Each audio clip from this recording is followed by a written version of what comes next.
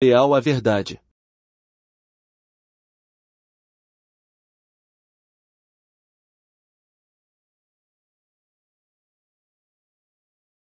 A absoluta lealdade à verdade é uma questão que deve receber prioridade na vida de todo obreiro cristão. E possível, e de fato não acontece raramente, que um obreiro modifica a verdade por estar sendo influenciado pelos homens, pelas circunstâncias, ou pelos seus próprios desejos. A verdade absoluta, e exige lealdade inabalável da parte de todos os homens e em quaisquer circunstâncias. Se necessário for, podemos sacrificar tudo quanto possuímos, mas não ousemos sacrificar a verdade. Jamais devemos tentar incliná-la segundo os nossos propósitos, mas nós mesmos nos devemos encurvar a ela. Todos temos o pendor de ignorar a verdade, quando ela entra em conflito com os nossos interesses pessoais. Se nos encontramos em um dilema, ou se a calamidade atinge o círculo de nossa família, ou se um amigo íntimo sofre alguma aflição, quão prontamente nos dispomos a alterar as nossas convicções a fim de nos livrarmos de alguma situação embaraçosa, ou a fim de salvar os nossos entes queridos de qualquer tribulação que possa ser desviada se acomodarmos a verdade às circunstâncias do momento. Por exemplo, o filho de um obreiro cristão expressa o seu desejo de ser batizado. Se seu pai estiver determinado a sustentar a verdade, entregará o seu filho ao escrutínio dos principais irmãos da igreja, conforme faria com o filho de qualquer outra pessoa, deixando nas mãos deles a decisão se o jovem está apto ou não para ser batizado. Porém, Visto que esse candidato particular é o seu próprio filho, ele procura fazer certas modificações em seu caso. Sua ideia fixa é que o seu filho seja batizado, pois não está resolvido a sustentar a veracidade da palavra de Deus. Se a sua preocupação primária fosse exaltar a palavra de Deus, livrar-se-ia de todo juízo antecipado no tocante a seu filho, e sentir-se-ia perfeitamente receptivo para com a opinião dos outros. Consideremos uma outra ilustração. Em certo lugar levanta-se uma controvérsia sobre pontos de doutrina. Certo número de santos se dispõem favoravelmente em defesa de um obreiro particular e aliás a ele, ao mesmo tempo que outra porção dos membros demonstra preferência por um outro obreiro, e lhe empresta o seu apoio. Nesse caso, infelizmente, nenhuma das partes se entregou totalmente à verdade, porquanto ambas transigiram alicerçados na afeição pessoal. Ó, oh, Quão insidiosamente as nossas afeições influenciam as nossas decisões, de tal maneira que chegamos a perverter a palavra de Deus, em lugar de capitularmos diante dela. O rigor da palavra divina não deve ser rebaixado para que se harmonize com os nossos padrões. Não podemos contemporizar com ela, nem mesmo quando ela mostrar as nossas deficiências, competendo-nos proclamá-la tal e qual ela é, eternamente inalterável e invariavelmente transcendental em relação à nossa compreensão e às nossas realizações. Cumpre-nos sustentá-la permanentemente, até mesmo quando ela contradizer a nossa experiência ou deixar estupefato o nosso intelecto. E, Acima de tudo, devemos cuidar para que não a exponhamos de uma maneira, quando ela afeta outras pessoas, para em seguida suavizá-la, quando tiver de ser aplicada a nós mesmos, ou às nossas respectivas famílias, ou aos nossos amigos. Aceitemos essa advertência, pois existe aqui uma armadilha sutil. Muitas dificuldades se multiplicam nas igrejas porque os crentes sacrificam a verdade, não querendo sacrificar os seus interesses pessoais.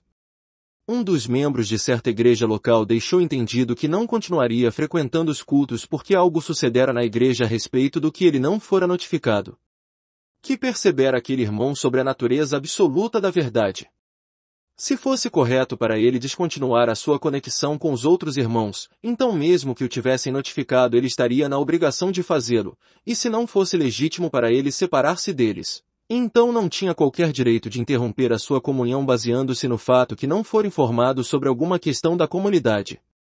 Se nos encontramos em uma associação que não está em harmonia com o propósito revelado de Deus, nesse caso devemos abandonar tal posição, mas se, por outro lado, a nossa posição está de conformidade com o seu propósito mas nos envolve em alguma dificuldade, não devemos reputar a verdade como uma bagatela, para em seguida nos justificarmos de haver saído por causa de dificuldades. Quem somos nós para insistir em que os nossos irmãos na fé mostrem deferência para conosco? E quem somos nós para usar por de lado a palavra de Deus, somente porque ela nos envolve em situações embaraçosas? Ó! Oh, somos por demais presunçosos e ousados. Enquanto a nossa vida própria não for abafada, nunca seremos autênticos servos de Deus. Devemos aprender a considerar a sua palavra sem paixões, quer nos seja vantajosa quer não a sua aceitação. Se ao menos pudéssemos perceber a verdadeira natureza da palavra de Deus, não viveríamos a obscurecer a sua glória, colocando-nos em primeiro plano. Salvemo-nos de nossa presunção. Utilizemo-nos de uma outra ilustração. Um irmão ouviu certa congregação local ser acerbamente criticada por determinadas pessoas, porém, mais tarde se uniu à mesma, e, em seus contactos com os crentes dali sempre se expressava de modo favorável, embora nunca tivesse examinado honestamente a situação, mas simplesmente sondava o seu caminho entre os irmãos e se mostrava polido de modo geral.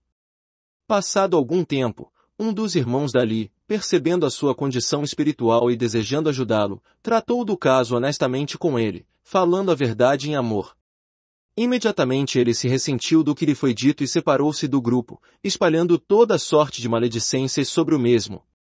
A esse irmão faltava uma atitude fixa em referência à verdade, por essa razão, podia torcê-la sempre que ela afetava o seu bem-estar pessoal. Se houvesse inquirido honestamente a verdade e também se se tivesse dobrado perante suas implicações, teria tomado uma atitude firme em relação ao grupo desde o início, se a verdade assim o tivesse exigido, mas, se a verdade requeresse que ele se identificasse com aqueles irmãos, nem mesmo a mais severa correção pessoal poderia levá-lo a romper sua ligação com eles. Apelando novamente para uma ilustração, Certo obreiro cristão tinha o talento da liderança e se sentiu inclinado a seguir determinado curso de ação, sendo ele um líder, inevitavelmente outros crentes passaram a segui-lo pelo mesmo caminho. Se a senda que aquele líder resolveu tomar era correta, não foi o fato de se ter enveredado por ela que a tornava correta, e se era errada, o fato de tê-lo escolhido não a corrigia, não importando quão zeloso fosse ele como crente. Se, em data posterior, aquele homem viesse a cair em um pecado, seu pecado não tornaria errado o curso de ação que tomara. Tenham tolerância comigo se agora repito que a verdade de Deus é absoluta, e que não é o fato que este ou aquele apoia que a torna assim, porquanto ela o é inerentemente. Entretanto, existe certa tendência em nós que nos leva a fixar a vista nos homens e a concluir que se alguém que julgamos ser pessoa espiritual segue por um determinado caminho, que esse deve ser o caminho certo, e que se alguém que está em mais condições espirituais toma um curso de ação qualquer, que esse curso necessariamente está errado. Vocês deixariam de ser crentes só porque certos crentes que conhecem são tão deficientes? Repudiariam o cristianismo somente porque alguns crentes caem em pecado? Não confiariam mais no Senhor, por causa do fracasso de alguém que professa confiar nele? Por certo que não. Se o Senhor é digno de confiança, devemos continuar confiando nele. A questão não gira em torno da reação dos homens para com a verdade, mas gira em torno da própria verdade. Alguns irmãos nos têm dito, como agradeço a Deus por haver me conduzido a estas reuniões locais. Tenho recebido aqui uma grande ajuda espiritual. Não ficamos demasiadamente jubilosos com tais observações pois elas não indicam que a natureza absoluta da verdade tenha sido reconhecida por eles. Sempre haverá a possibilidade de que as pessoas que nos fazem tais observações frequentem os nossos cultos simplesmente por se sentirem atraídas por eles. Mas, esperemos até que alguma coisa transpire e que isso não seja provado por elas, e então veremos se elas não julgam a congregação de modo inteiramente errôneo. Se um lugar está errado, está errado, se está certo, está certo. Não é o fato que sou bem ou mal tratado ali que o torna certo ou errado. A verdade deve ser o único fator determinante de todas as nossas associações, mas, se assim tiver de ser, então este nosso ego que deforma os nossos juízos deve ser abafado. As numerosas divisões existentes na igreja e as muitas dissensões na obra seriam eliminadas se ao menos nossas preferências pessoais pudessem ser eliminadas. Se simplesmente capitulássemos perante a verdade, sem importar os seus efeitos sobre nós, não só seriam resolvidos os problemas das igrejas e da obra em geral, mas até os nossos próprios problemas chegariam ao fim.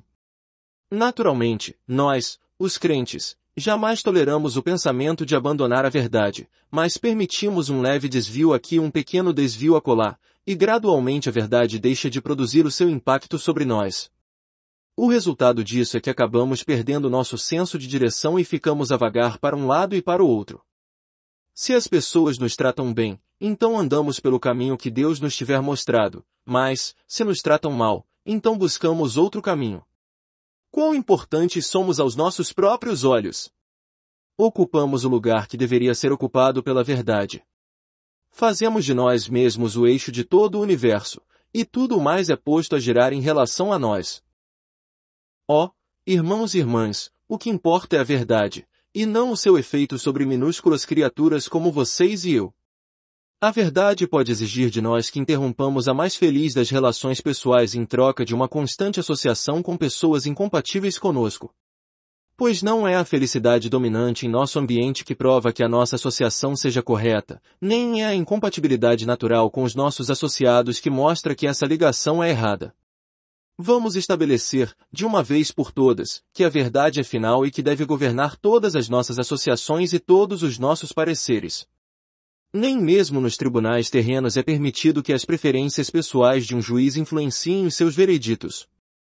Ele não pode obedecer aos ditames de seu coração recusando-se a proferir a palavra culpado ao seu próprio filho, se a lei tiver demonstrado a culpa deste, e não pode deixar de pronunciar o seu inimigo inocente, se a lei assim o exigir. A lei é absoluta, e um juiz está na obrigação de submeter-se a ela. Se, na qualidade de um corpo de cooperadores na obra cristã, nos subordinássemos incondicionalmente à verdade, quão rápido e suavemente seriam tomadas as nossas deliberações, e como a obra seria próspera.